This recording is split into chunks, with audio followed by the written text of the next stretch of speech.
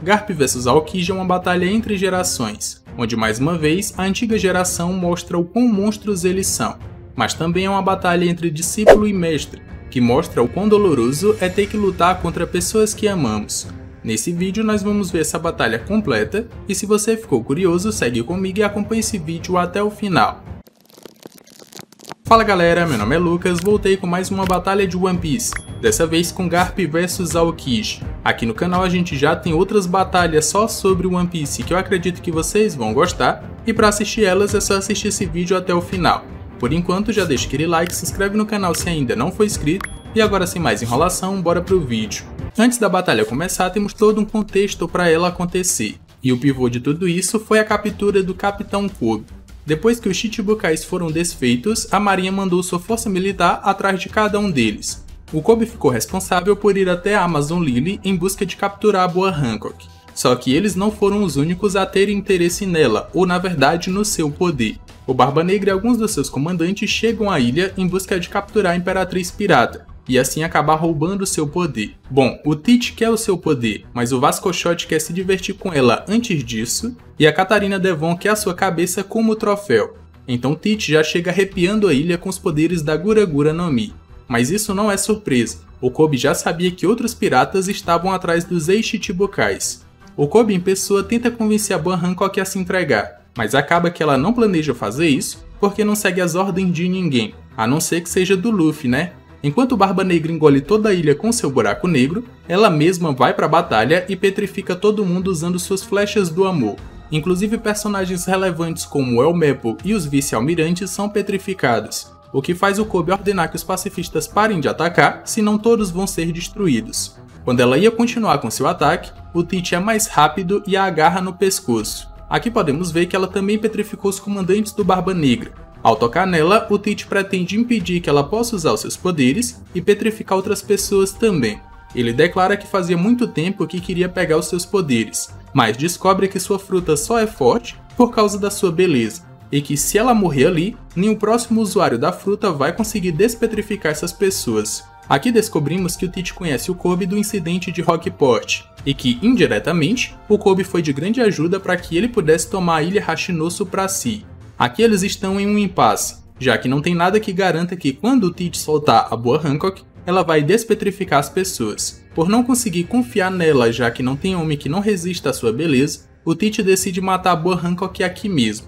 Mas antes que ele pudesse fazer isso e para o espanto de todo mundo, o Rayleigh em pessoa aparece na ilha e já coloca moral na casa. Ele vai intermediar toda a ação para que os piratas deixem a ilha depois que a boa Hancock despetrificar todo mundo. Só assim ela acaba sendo salva, mas o Kobe acaba sendo capturado como um prêmio de consolação.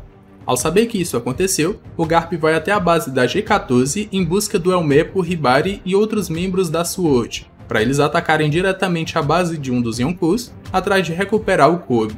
Em Hashinosu descobrimos que o Kobe acabou fugindo da sua cela, então está correndo pela ilha enquanto é perseguido por inúmeros piratas, que estão querendo a recompensa por sua cabeça. O Kobe em específico vale 5 estrelas, que é algo em torno de 500 milhões de beris. Aqui a caveira gigante da ilha fala com os piratas sobre os fugitivos e que eles devem ser capturados vivos, senão ele vai dedurar tudo o que aconteceu pro Tite. Ao mesmo tempo que o Kobe está correndo com uma bola de metal, enquanto lidera outros prisioneiros. Quando Kobe se faz de isca para que os prisioneiros consigam fugir, vemos que na ilha só estão os comandantes do Tite. Vemos o Shiryu que tem a Sukesuke no Mi e descobrimos que quem estava falando pela caveira gigante é o Ávalo Pizarro, com a sua Shima Shima no Mi fruta da ilha. Do lado de fora vemos o Vascochote em cima de uma bolha flutuante, que é usuário da Gabo Gabo no Mi fruta da bebida alcoólica, enquanto San Juan Wolf está dormindo. Ele é usuário da Deca Deca no Mi fruta do homem gigantesco. Enquanto Kobe corre para tentar se desvencilhar dos piratas, ele lembra o porquê o Barba Negra acabou capturando ele. Sua intenção é tornar Hashinosu um país reconhecido pelo governo mundial, o Reino Barba Negra. Mas o Kobe diz que é impossível que exista um país só de criminosos, mas o Tite só quer negociar sua vida. O Kobe revela que é da SWORD, então sua tentativa de acordo não vai funcionar. Basicamente, ele é um marinheiro que não segue o código de conduta da marinha. Tecnicamente, eles são marinheiros que entregaram sua carta de demissão, mas ela ainda não foi aceita. Então eles têm total liberdade para não seguir as ordens e podem até lutar contra os Yonkous sem permissão dos superiores. O Tite até gosta dessa vertente da marinha, que não segue as ordens dos molengas do alto escalão, mas ele planeja continuar com o plano, já que o Kobe é considerado um herói da marinha, e o governo não pode deixar isso passar. Então Tite planeja deixar o Kobe preso até o momento certo para usar ele como moeda de troca. De volta ao presente enquanto corre dos piratas, o Kobe lembra que foi a Perona que libertou ele, em troca de ajuda para libertar o Moria. Ainda fugindo, ele percebe que a ilha começou a ser atacada pela marinha, e então se sente envergonhado por isso. De outro lado, vemos os marinheiros atacando os piratas em uma batalha generalizada. Um desses marinheiros é decapitado, mas não morre. Seu corpo se remonta como se fosse uma logia. Enquanto isso, os piratas notam que os prédios começaram a se mover. De longe, eles veem uma marinheira chicoteando e falando com os prédios. Então ela é apresentada como a contra-almirante Kujaku, usuária da Multimut no Mi Fruta do Chicote. Quando Kobe é finalmente cercado pelos piratas e esse seria o seu fim, todos os piratas atiram, mas suas balas foram transformadas em flores. Esse foi o trabalho da comandante Hibari, que chegou no apoio para resgatar o Kobe. Quando Prince Bruce confirma que terminou os preparativos e que o Kobe já tinha sido salvo, vemos que os prédios cercaram os piratas na praça da ilha. Do lado de fora, o navio do Garp é lançado com ele e seus seguidores até a ilha. Por espanto de todo mundo, o navio do Garp aparece voando em cima da ilha. Quem está nele não poderia ser outro senão o vice-almirante Garp, para o desespero dos piratas. Ele salta do navio já preparando um soco com o haki do armamento imbuído com o haki do rei, e declara que o Kobe é o futuro da marinha e seu amado aprendiz. Após isso, ele lança o seu Galact Impact, um soco tão absurdo que só o impacto dele cria uma redoma gigantesca de haki e destrói toda a praça da cidade, derrotando milhares de piratas ao mesmo tempo. De longe vemos o quão absurda foi essa explosão, enquanto o navio ainda continua no ar. Inúmeros piratas saem voando, e diversos prédios são destruídos por esse ataque do Garp. Enquanto ele cai na ilha, o Prince Bruce cria um punhado de argila como airbag para o navio do Garp pousar no meio da ilha. Ainda se recuperando do impacto do ataque do Garp, os piratas gritam de medo. Com a visão mais ampla, vemos o Garp e seu navio imponentes frente a um punhado de piratas derrotados. Ele se lamenta de ter ficado tão fraco, o que significa que se tivesse no seu auge, muito provavelmente teria destruído a cidade inteira. Logo Kobe aparece para a felicidade de todos. Os principais marinheiros se reúnem para dar boas-vindas, e a comandante Hibari ainda não descobriu uma forma para retirar as algemas do Kobe. Mas o espanto de todo mundo, num instante ela tem seu corpo completamente congelado, mas felizmente não atingiu o Kobe. Os marinheiros gritam de desespero, mas o Garp faz uma cara de completo espanto. Quem está diante deles é o Aokishi. Foi ele quem congelou a Hibari, mas o Kobe foi rápido o suficiente para salvar ela antes que ele pudesse quebrar seu corpo. Os piratas começam a gritar de excitação e o Aokiji declara que não pode deixar o Kobe fugir, ainda mais na ausência do Barba Negra. Aqui temos um flashback que se passa um ano depois da grande batalha entre Aokiji e Akainu lá em Punk Hazard. O Barba Negra invade a ilha e já vai direto até o Aokiji em um determinado bar. Ele pede para que o Aokiji desfaça o congelamento em seus companheiros, que foram derrotados do lado de fora, mas ele desdenha e diz para o Teach tomar cuidado com a sua Gura Gura no Mi, senão eles podem ficar em pedaços. Além do mais, não foi ele quem começou, e ainda está de mau humor. Na página seguinte vemos que ele e os piratas se entenderam porque agora estão todos bebendo e sorrindo. O Aokiji até conta de forma engraçada como foi sua batalha contra o Akainu, mas também mostra como perdeu uma das suas pernas e que agora tem que reconstruir continuamente. Eles debatem sobre um homem da cicatriz de queimadura que tem um dos Road Poneglyphs, mas Aokiji brinca que poderia ser ele mesmo. Só que esse cara navega em um navio todo preto e as pessoas que tentam se aproximar são engolidas por um grande redemoinho.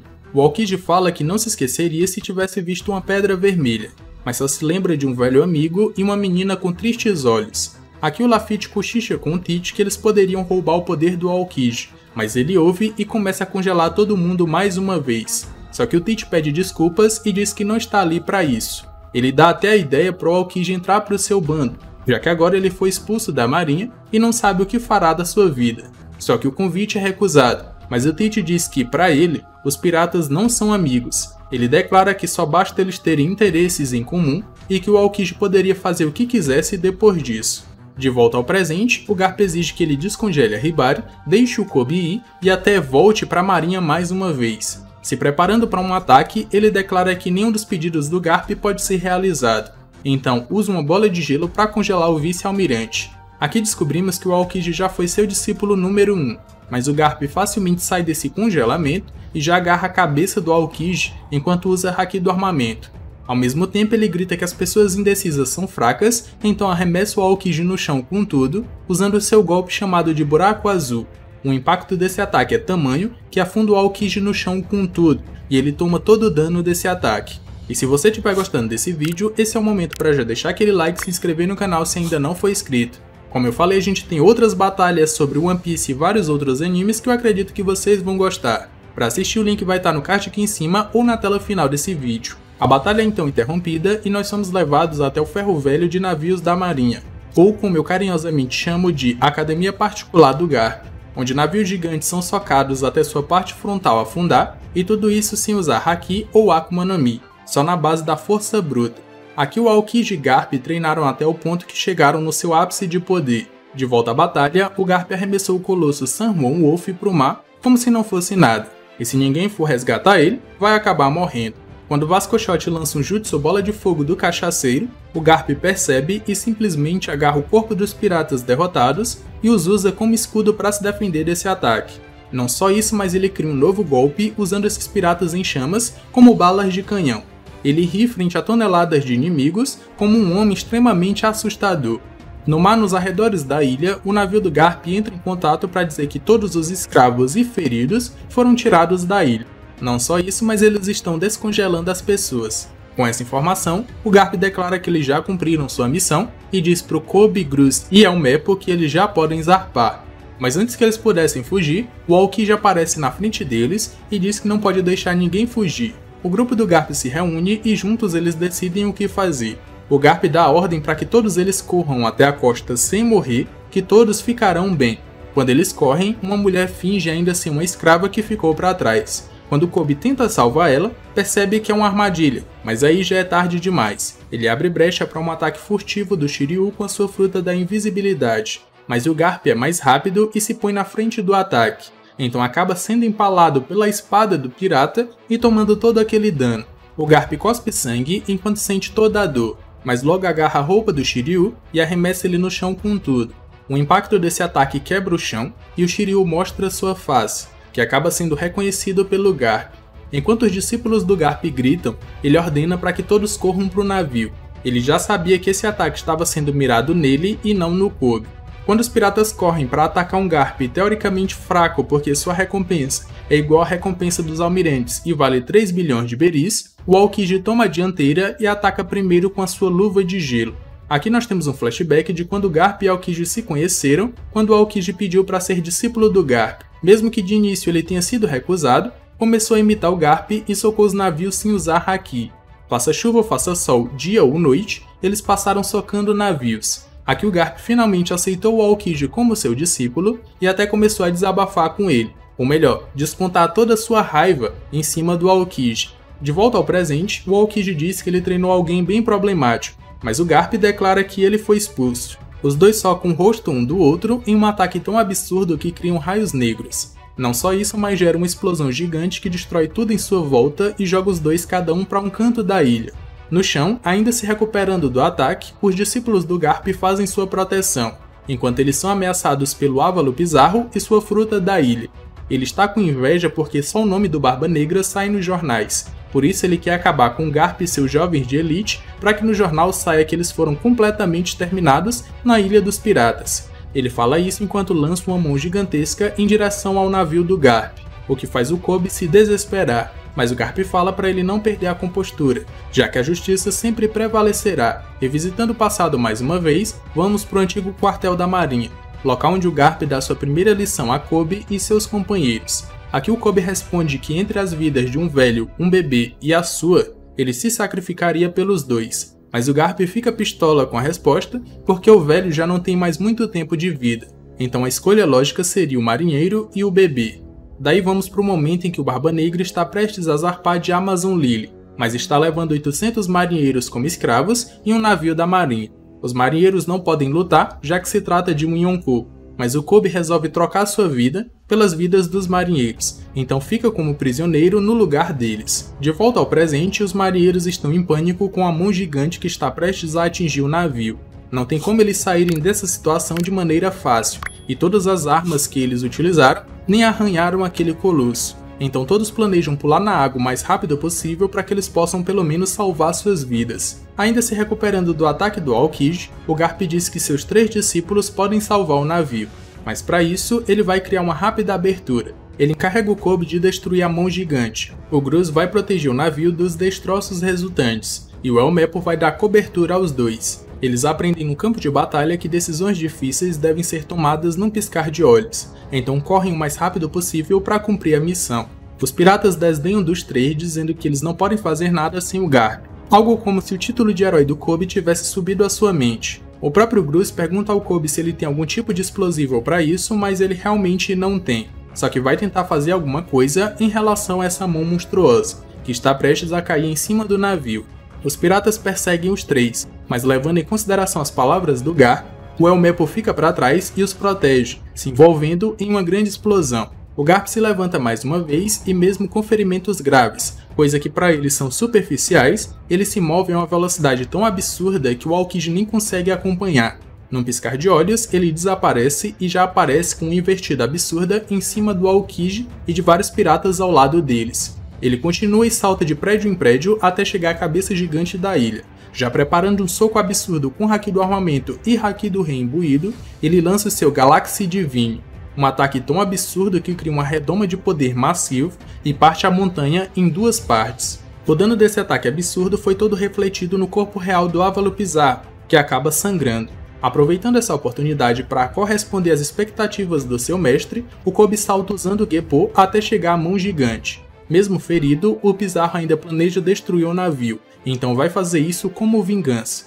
Enquanto ao Garp, ele simplesmente sabe o quanto o Kobe treina e do quão forte ele realmente é. Então ri. Ele lembra de ouvir do Elmepo que o Kobe treina entre 100 e 200 vezes mais que uma pessoa normal, mesmo após os seus treinamentos com Garp. Não só isso, mas ele também treina socando navios gigantescos, e aqui podemos ver que ele já conseguiu amassar um deles, assim como Garp e Aokiji. Mesmo sendo uma mão gigante contra uma formiguinha e com todo mundo duvidando, o Kobe prepara seu ataque usando o Haki do armamento e possivelmente Haki do rei imbuído. Então lança seu Honest Impact, um soco tão absurdo que parte não só a mão, como o braço inteiro do Ávalo Pizarro em dois pedaços na horizontal. Os piratas ficam em choque e o Ávalo Pizarro toma todo o dano com seu braço tendo sido quebrado. Os marinheiros não podem acreditar no que estão vendo, mas o Kobe realmente destruiu uma mão gigantesca. O Garp ri enquanto vê essa cena, mas os destroços da mão ainda cairiam no navio. Aqui o Gruz usa sua rede de argila e recolhe todos eles. Enquanto cai, o Kobe acaba sendo salvo pelo Elmepo, mas ele ainda não pode acreditar que o Kobe destruiu uma mão do tamanho de uma montanha sozinho. No final, o navio acaba sendo salvo e todos os recrutas do Garp caem no navio. Agora só bastava o Garp sair da ilha que a missão estaria cumprida mas por Dendemushi, o próprio Garp declara que a missão de resgate ao Kobe foi concluída. Então todos devem se afastar o mais longe possível de Hashinosu. Ele mesmo vai dar um jeito de fugir sozinho. Para ele, o mais importante é a vida dos mais jovens, assim como ele mencionou na primeira aula deles. A vida de um velho não vale nada. Mas esse episódio vai ficar marcado como uma verdadeira ameaça aos piratas, porque todos os jovens são o futuro da marinha. De volta à ilha, vemos um Garp empalado por uma estaca de gelo do Aokiji, enquanto está cercado pelos piratas e comandantes do Barba Negra. Ele ri da mesma forma que os Dez riem frente à morte, mas não podemos ver a expressão do seu discípulo Aokiji. Aqui essa batalha se encerra, e aí nós podemos dizer que o Garp foi derrotado pelo Aokiji, mas o Aokiji não lutou sozinho. Será que num X1 ele conseguiria vencer de maneira fácil ou ele teria alguma dificuldade para vencer? Comentem aqui embaixo as suas opiniões que eu vou estar tá vendo e vou estar tá dando coraçãozinho para vocês. O que vocês acharam dessa batalha? Comentem também.